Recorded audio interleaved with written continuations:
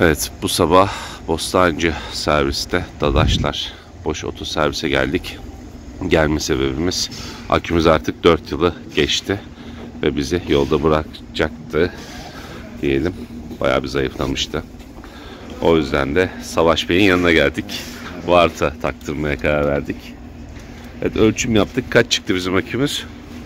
Ee, yüzey voltajı 13 volttu fakat yük altında 6 voltlara 5 voltlara kadar düşüyordu maalesef. Akü Kaç olması gerekiyor normalde? 8, minimum 8.5'larda falan takılı kalması gerekiyor. Direnmesi gerekiyor yani akünün.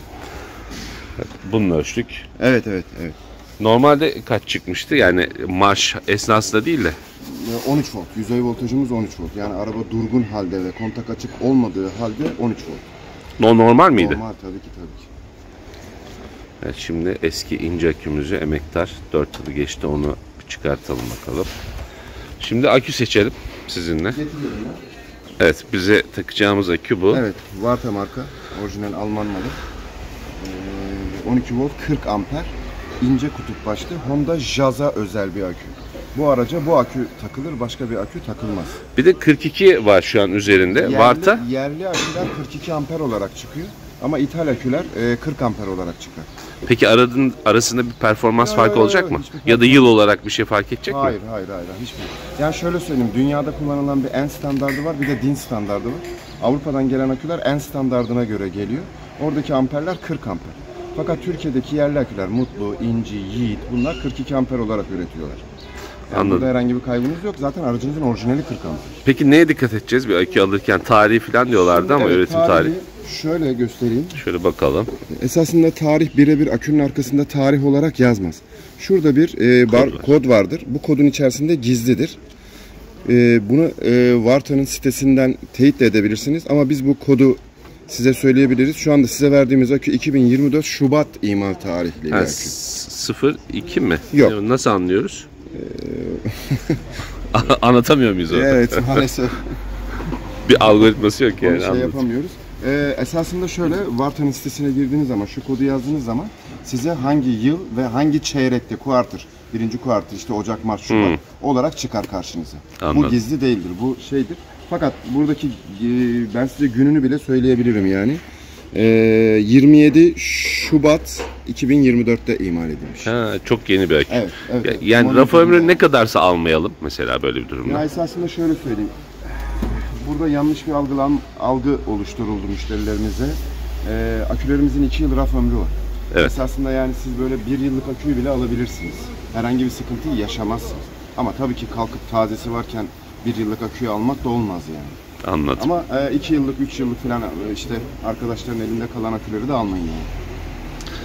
Şimdi aküyü söktük. Diyeceksiniz çalışmadan söktü, neden söktünüz kod filan isteyecek. Honda'larda kod yok. Kod istemiyor teybi. O yüzden de bir sıkıntı olmuyor. Bir tek otomatik camda bir sıkıntı oluyor. Açtığınız zaman yani e, basılı tuttuğunuz zaman komple kaldırıp komple indirme modu devre dışı kalıyor. Şimdi onu da tanımlayacağız tekrar. Akü montajı yapıldıktan sonra. Evet şimdi akümüzü de yerleştiriyoruz.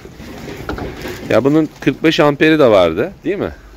45 amperi var fakat e, bu araca e, olmaz yani. Şey olarak, fiziki olarak olmaz. Zorlar Şu sizi. yanlara mı? Evet, dokunur? evet, evet. Şu, Dokunsa ne olur mesela? şu. Yani e, vibrasyon falan verebilir araba. Yani dokunsa ne olur temas etse? Şimdi temas edeceği yer motorun yan tarafında hava filtre kazanı. Yani bu burada devamlı bir sarsıntı oluyor. Onunla temas ettiği anda aracınıza bir vibrasyon verebilir. Yani aküye bir zarar verir mi bu? Yani e, uzun vadede verebilir evet. Verirse ne olur? Devamlı Mesela bir derinse ne olur akü? Ya akünün içerisindeki o e, birbirine bağlı olan separatörlere zarar verebilir. Bu sefer de ne olur? Akünün içerisinde grift kopukları oluşabilir yani. Çok tavsiye ettiğimiz bir şey değil. Ya tehlikeli bir durum patlama Yo, falan yo, yo, oluyor yo, mu? Yok yok öyle bir şey değil. Öyle bir şey değil. Akünüzü daha e, hızlı zamanda e, muyum? Evet benim buraya gelme sebebim de e, Vart'a taktırmaya karar vermiştim. Fiyat araştırması yaptım. Yani bu civarlarda gerçekten en uygun fiyat veren Dadaşlar Oto olduğu için tabii ki buraya geldim. Bir de raf ömrünü sordum. Şubat üretimi deyince de tereddüt etmeden direkt geldim. Yani başka diğer çevrede araştırdığım fiyatlar bayağı bir yüksekti. Bayağı bir fiyat farkı vardı. Siz de bence akü taktıracaksanız En azından buradan kesinlikle fiyat almanızı tavsiye ediyorum. Garanti belgemizi dolduruyoruz şimdi. Plaka numaramız 2 Şimdi kaç yıl garanti aldık biz? 2 yıl garantimiz var. Türkiye'nin ve Avrupa'nın Neleri kapsıyor bu garantimiz? Fabrikasyon arızalar. Arabanız çalışmadığı takdirde akünüzü inceliyoruz. Fabrikasyon bir hataysa garantiden değiştiriyoruz. Fabrikasyon olmayan arızalar nelerdir? 1. Arabanızda alternatör yani şarj dinamosunda bir sıkıntı olursa gerekli voltajı üretip aküyü besleyemezse bu aküden kaynaklı bir arıza değildir. 2. Arabanızda bir şey açık unuttunuz. Akü enerjiyi boşalttı tamamen. Bu garantiye giren bir şey değildir. 3. 3. 3. aracınızda herhangi bir elektrik kaçağı, elektrik kaçağından kastımız e, aracınızdaki bir ünitenin sizin inisiyatifiniz dışında kapalıyken bile enerji çekmesi ve aküyü boşaltması. Bu garantiye girmez. 4.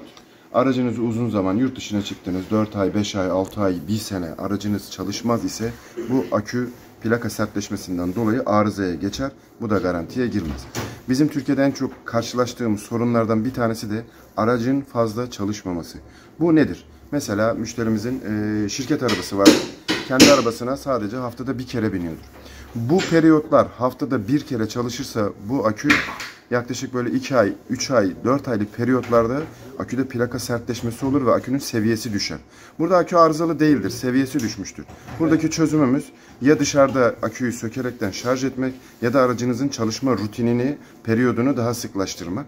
Ee, bu da garantiye giren bir şey değildir. Peki o, ola ki e, fabrikasyon bir hata oldu ve size getirdik. Tabii, tabii. Aküyü aldığınız o sırada yedek akü mü takacaksınız araca? Biz e, inceliyoruz, Varta'dan o yetkimiz var bizim. İnceliyoruz, akü gerçekten bozuksa biz anında değiştiriyoruz. Ha, hemen anlık tespit edebiliyorsunuz yani fabrikaya falan ama gitmiyor. bazen yok yok fabrikalık bir durum yok. Hmm, Ee, ama bazen e, sizin söylediğinizde yapabiliyoruz. Çünkü müşterimiz akünün bozuk olduğunu söylüyor. Fakat burada incelediğimizde sağlam görünüyor. Bunu şöyle çözüyoruz. Size bir tane ikame akü veriyoruz. Sizi gönderiyoruz. Arka planda aküyü inceliyoruz. Bazen müşterimizin dediği gibi bozuk çıkabiliyor. Mesela siz buraya çalışarak geldiniz. Aküyü dolduruyor. Biz o anı, o anı görebiliyoruz.